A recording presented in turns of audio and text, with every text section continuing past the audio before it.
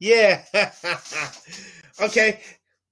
I saw the same guy in the mall. He worked in the mall. He's like, you could really have some nice boyfriends if you wanted. Why don't you try it one time? You might like it.